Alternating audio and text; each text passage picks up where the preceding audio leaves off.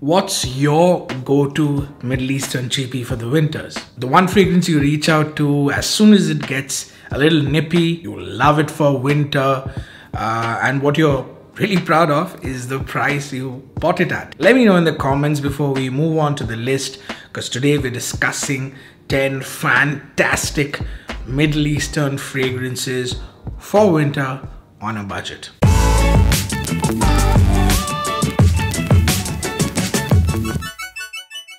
First on the list is Ahmed Al Maghribi Summer Oud. Yes, we are starting a winter list with a fragrance called Summer Oud, but don't let the name fool you. I don't think this is a, a summer fragrance. It can be worn during summer, but I would stick to wearing this um, in the cooler evenings never in the daytime during summer. This really shines during winter. It's not really a clone of any fragrance or not any fragrance that I've come across at least. But to help you imagine it, think of New York by Vidyan um, and add a bit of saffron uh, to the top notes of that fragrance. So fresh mandarin with saffron in the opening, then some rose, caramel, and cypriol, and a hint of oud in there as well. And that's kind of what this one smells like. It's called Summer Oud. Uh, it's a fragrance that I wouldn't recommend wearing uh, in the high heat. Um, really, I think this is a hidden gem. Try it if you haven't already. Next is I Was Here by Laverne. Laverne is a Saudi Arabian house that I recently discovered thanks to a fraghead friend of mine, Rahul Sharma. Rahul, if you're watching this video, shout out to you. This is a clone of Xerjoff Alexandria 2 and a damn good one. In fact, the only one that I like. Now, I don't know what it is, but whatever clone I've tried of Alexandria 2, I've really not liked the uh, rosewood in it, the woody uh, rosewood mixed with vanilla it just didn't work for me. There's something very cheap. Uh, you know when when people try to replica uh, uh, replicate the Xerjoff but somehow that's not the case with this one. It is pretty close to the original and it it has mind-blowing performance. Uh, as you can see I've not used a lot of this. I've worn it just a couple of times. Now, any Laverne fragrance comes with a little sample along with it that you can test when you buy it uh, and if you don't like it you can return the box and you don't have to open the bottle. I wore that sample uh, twice. I've worn this a couple of times only but every time I've got fantastic performance from it. Some of these fragrances also come in massive 200 ml. Like imagine this is 100 ml. Imagine a longer version of this a 200 ml uh, uh, fragrance bottle. Some of them uh, come in in a 200 ml and I'll be doing reviews of this house uh, of a few fragrances from this house. One is a Bulgari Gyan clone, one is like uh, Nishane's Hacivat.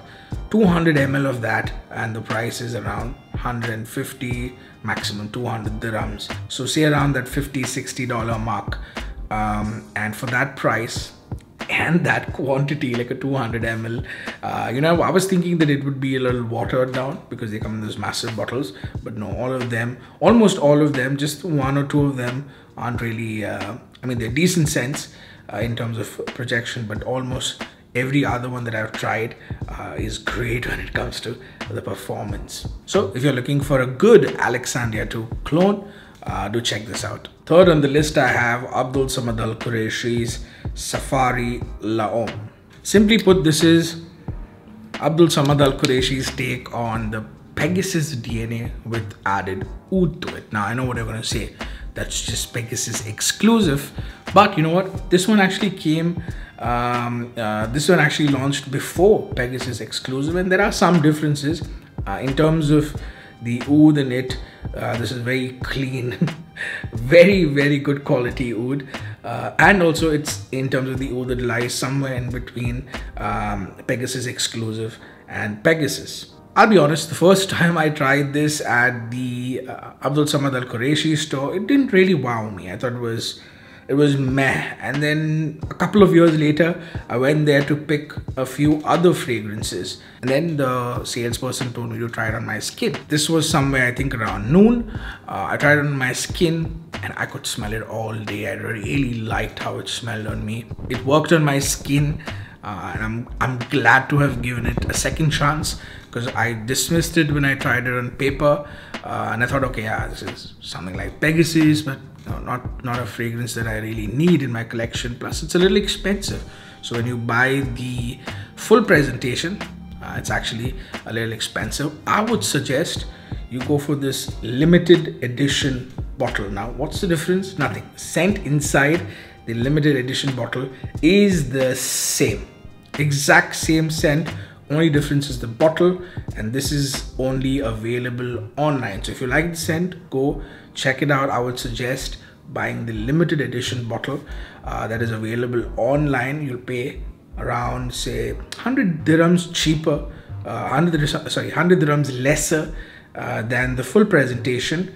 Uh, that is around 30 dollars lesser if you go for this one the scent inside is the same. I would suggest ignore that presentation uh, that uh, fancier presentation. Go for the simpler bottle save money and enjoy the juice. On number four i have ajmal wisal dhahab. Now this is one of the most popular concoctions to come out of the middle east. Uh, if you live in the indian subcontinent uh, if you live in the middle east you would have definitely heard of this or tried this. And if you live in the western world i would highly recommend this one. This is an elegant unisex scent for winter. Uh, it's soft but long lasting gentle but still noticeable to everyone in the air. The rose in this one is rose in this one is beautiful. The florals and musk are clean and well balanced and there's just a hint of spice in this which you know it's, it's not overpowering at all. It's just there. It's gentle again.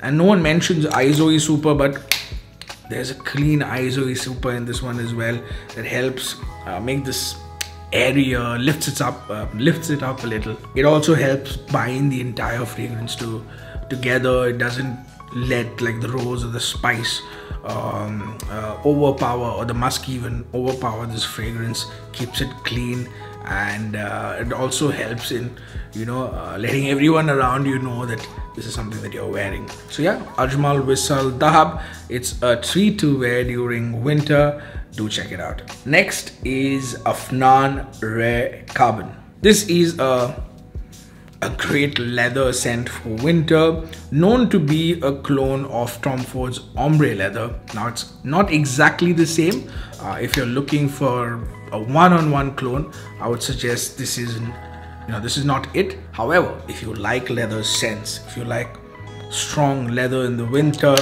uh, and you're looking for something the same ballpark or the same wheelhouse as um, ombre leather, Tuscan leather, uh, but not strong on that raspberry, uh, not as dry, lesser jasmine, but still has some of that floral feel, but very watery floral feel. Um, ozonic notes is what they call it. It's mostly the violet. Then I would say uh, this is something that you should uh, be checking out. Now I've noticed the recent reviews on this one aren't very positive, on Fragrantica at least. Uh, maybe that has something to do with the batch. A few people say that they get this gasoline like wax like feel. I get none of that.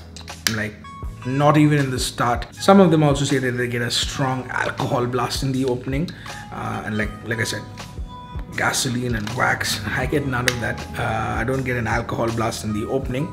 Maybe it has something to do with the batches. I don't know or where people are buying it from. Mine, I'll tell you when mine was that's pretty old. I think three or four years old. So 2000. Let me check box.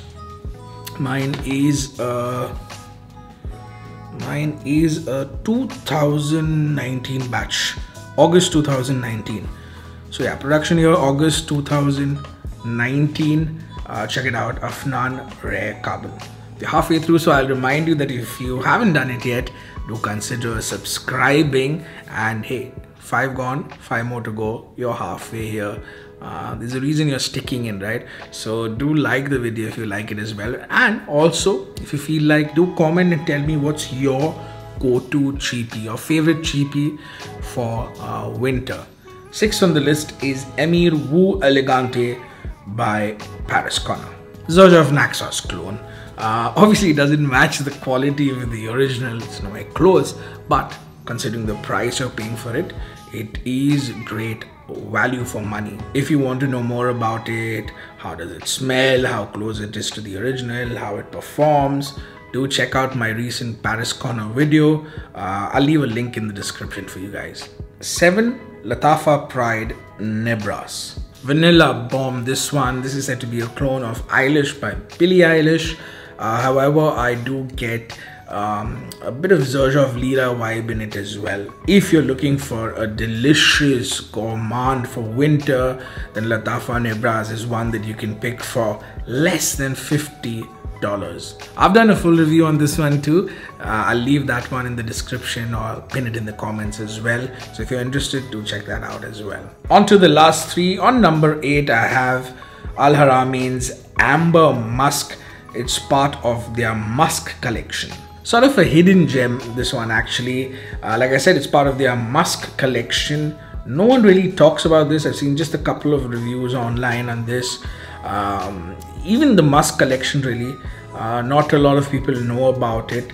They should be talking about it especially uh, this one from them. To my nose this one has a lot of louis vuitton's ombre nomad in it yes and people on fragrantica have said that as well although this is not a straight clone of uh, Ombre nomad So if you're looking for like an Ombre nomad clone, there are others that are closer to it. This one starts off a little like Ombre nomad but then it does its own thing and it goes in a different direction. There's a there's a teeny bit of Lancome's Oud bouquet in it, especially during the dry down. And along with that, there's this uh, very clean musk that you'll get in the rest of the musk series. The same musk that is used in all the other uh, fragrances in the musk series is also used in this one. Kind of binds those two fragrances together that i'm talking about.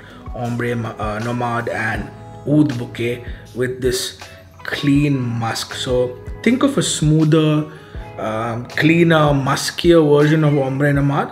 that's what this is. Longevity on this is mind-blowing uh, i actually sprayed this on my on something that i was wearing um, that i ended up not not wearing. Uh, and then you know just had it on the clothes ha uh, hanger. Um, went on holiday actually two weeks. So came back after 12 14 days came back home opened my bedroom door uh, and as soon as I entered I got this faint musky rose oud kind of smell. And I was wondering what it is. Got clo closer to the uh, cloth hanger and it was this two weeks later still projecting as if something that is uh, you know recently sprayed. So yeah number eight is the potent muskier version you could say of ombre nomad from al haramain. On number nine another al haramain. This one is from their french collection. It's just called haramain noir. Now First time I sprayed this, three scents from my collection came to mind. And you're gonna guess it as well. Tom Ford Oud Wood, Thameen Carved Oud, and Versace Pour Homme Oud Noir. And although they are pretty similar scents, all three of them, this one resembles, at least to my nose, this one resembles the Versace the most. Fantastic performance. It, it, it feels like a higher quality uh, Versace Oud Noir uh, on discount. I know it's a little pricey. It is around 260 dirhams if I'm not mistaken. So around $70, 70 $80. But why is it on the list? Because I've seen this on discount a lot of times. So on discount, you can get this for around $50 and I think that's great value for money for a scent like this. It's potent. It's one of the stronger Al Haramains. Uh, if you're looking for something with that uh, oud wood um, DNA, something like Versace's uh, Pour Homme Oud Noir, but slightly better quality somehow, and something that performs even better than that for $50, I would say check this one out.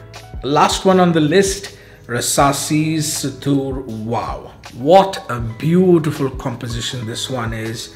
Uh, it's soft and warm, but also long lasting. The lavender gives it a nice, nice airy quality to it. Uh, the cardamom uh, is creamy more than spicy. I mean, it's spicy, but not too spicy. All these jokes will get the reference I'm making here. It's woody and ever so slightly resinous, making it a semi-sweet scent. I'm on my second bottle. I love wearing this during winter. Goes for around $30.